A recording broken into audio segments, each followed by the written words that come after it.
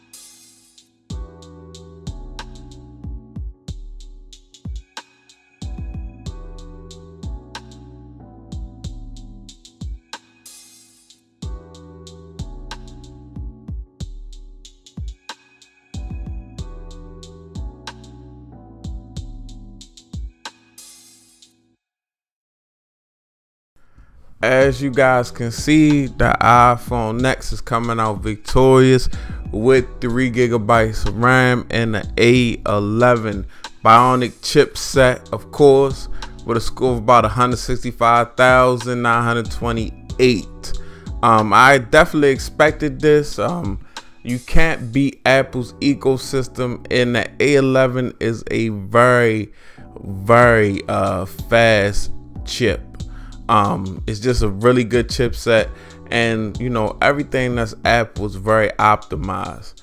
I mean, the Note, you know, is trying its best. Is a the Note 9 is a blazing fast. It is a fast phone.